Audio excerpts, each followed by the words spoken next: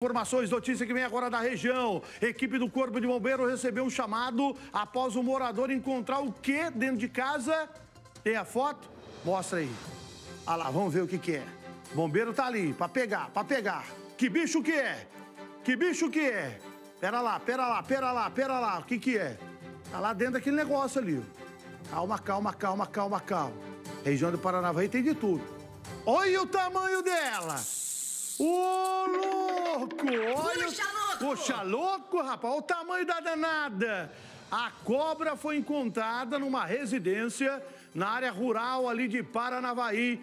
Seria uma cobra cascavel. Oxi! E a pessoa assustou com o barulho do guizo dela. Zzz, fez o barulho do guizo. Falou, tem... Ah, o barulho do guizo aí. Falou, o que que é isso? Foi olhar, a cascavel estava dentro desse armário aí, ó. O bombeiro de Paranavaí foi comunicado, foi chamado, ela foi capturada. Olha o tamanho da cascavel.